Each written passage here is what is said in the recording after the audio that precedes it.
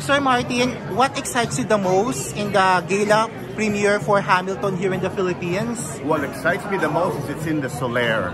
It's in the Philippines. The hardest ticket to get all over Broadway, all over the Great White Way is Hamilton. Correct. And now it's at Solaire. It's in our home. So Yeah. I'm so excited we get to see one of the biggest, if not the best production ever. And speaking of production, Sir Martin, of course, you just came from Italy for ASAP Milan. Yes. It was fun. We saw the first episode last Sunday.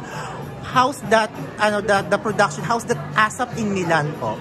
ASAP in Milan, the group that they assembled para sa ASAP in Milan, ito talagang one of my favorite combination ng stars. Kasi yung kapamilya, lahat kami, uh, pwedeng pwede mag, magsama-sama. But itong combination ng stars, parang nag-gel kami talaga. I don't know kung bakit.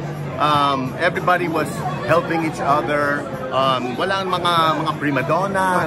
Uh, so yung yung yung pinagsamahan namin uh, na napaka-sweet, napaka-relaxed. Correct. So that kind of working atmosphere, hello boss, that kind of working atmosphere, I think it, it projects on TV5 especially. correct. Because you're able to see the true meaning of what it is to be kapatid Yeah. or to be kapamilya. Correct. What can you expect from the second part of ASAP in Milan this Nako. Sunday?